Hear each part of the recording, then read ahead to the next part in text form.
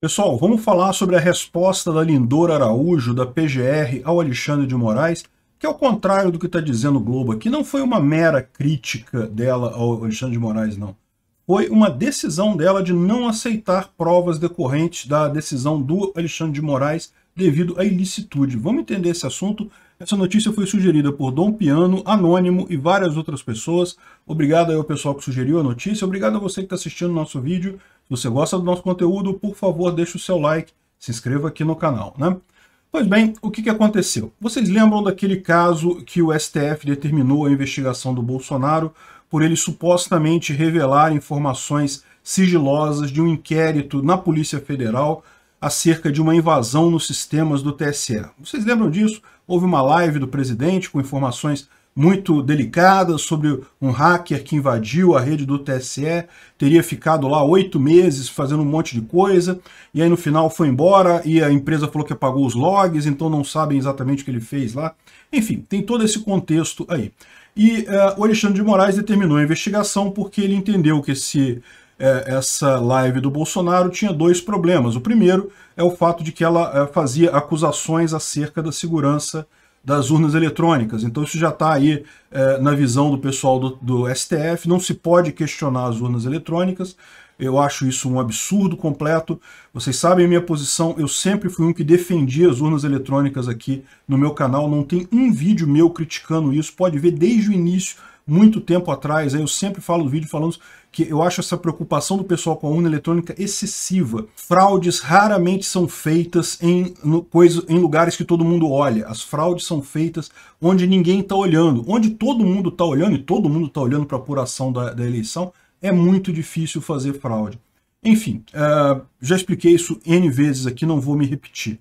Mas o fato é que, é lógico, por óbvio, você pode criticar alguma coisa. É um absurdo essa ideia de que é proibido criticar determinada coisa. É proibido criticar a urna, ou qualquer coisa, ou o STF, ou Alexandre de Moraes, ou, a, ou até a democracia. Por que você não pode criticar a democracia? Qual o problema disso? Se a democracia é um sistema de governo que impede a crítica a ela própria, ela não se torna diferente da própria ditadura, porque basta alguém chamar a coisa que ele está fazendo de democracia e pronto, não pode mais ser criticada, não é isso? Não importa se na prática tem alguma coisa ou não de democracia ali. Então é um absurdo essa ideia, não pode se criticar tudo.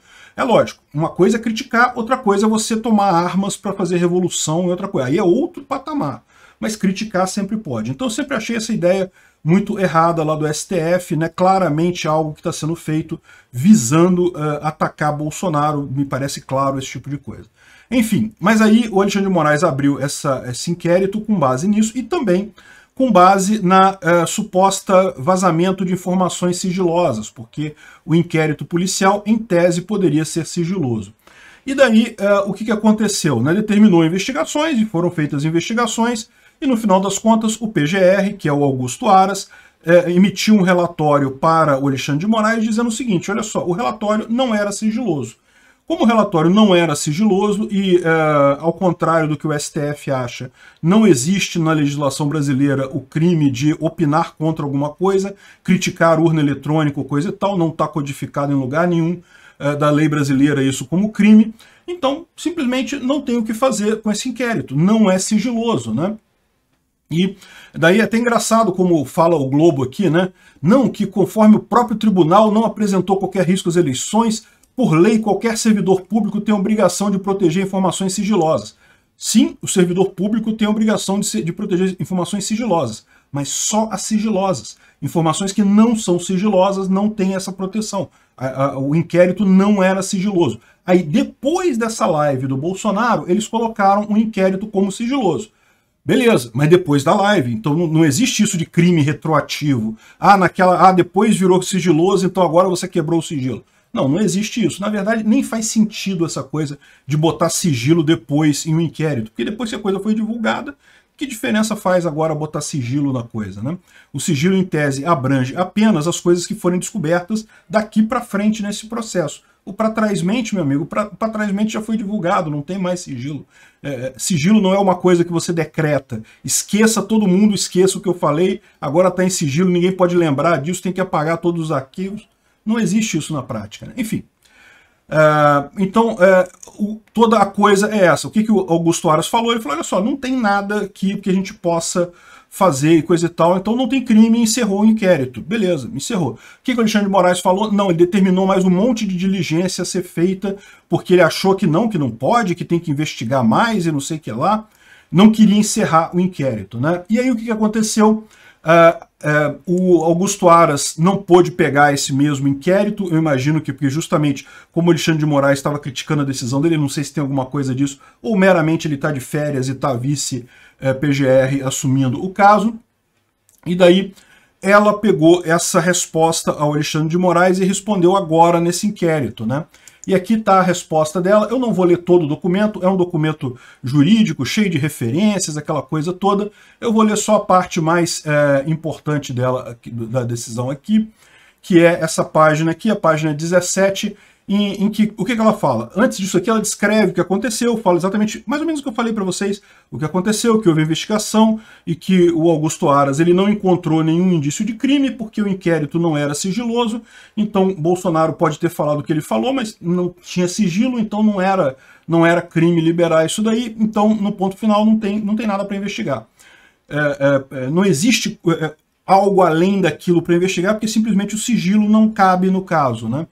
Aí ela responde aqui, ó, de novo, conforme depreende a decisão do ministro relator datada de 2 de maio, neste inquérito, o próprio julgador, mesmo com após a decisão de arquivamento do PGR, considerou o relatório de análise de material apreendido, reputou que a opinião delicity ministerial não está formada, ou seja, que ele não tinha ainda, eh, não sabia se tinha acontecido algum crime ou não sob a justificativa de elaboração de um novo relatório sobre elementos de informação de autoridade policial, a qual seria a essência para completa análise dos elementos. O que está dizendo aqui?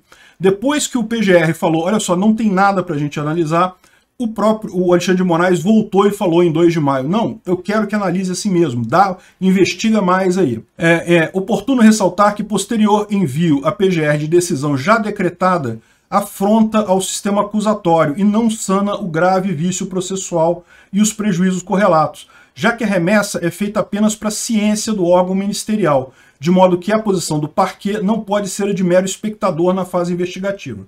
Vou traduzir para vocês. O parquê é o Ministério Público, são os procuradores, é o Augusto Aras e a Lindor Araújo. Eles são responsáveis por perseguir a ação penal, ou seja, se alguém cometeu um crime, são eles que correm atrás o Alexandre de Moraes determinou que eles corressem atrás de um eventual crime cometido pelo Bolsonaro. Eles correram atrás e viram que não tem nada. Então, a decisão do parquê, a decisão do Ministério Público de dizer, olha só, estou encerrando esse caso, não tem nada aqui, ela não é meramente uma sugestão de encerrar a coisa. Eles mandam para o juiz a coisa, a remessa é feita apenas para a ciência do órgão, ou seja, eles mandaram a informação para o Alexandre de Moraes de que a ação tinha acabado apenas para ele tomar ciência. Ele não pode virar e falar, ah, não, não quero, não gostei, investiga mais. Não existe isso. Quem define o se é para investigar ou não é o PGR, é, é o Ministério Público. Então, uh, assim, na prática, o iminente relator, o relator é o Alexandre de Moraes, adentrou nas funções precípuas e exclusivas do Ministério Público, o que é vedado pelo sistema constitucional brasileiro. Ou seja, o Alexandre de Moraes tomou uma decisão que não cabia a ele, cabe ao PGR.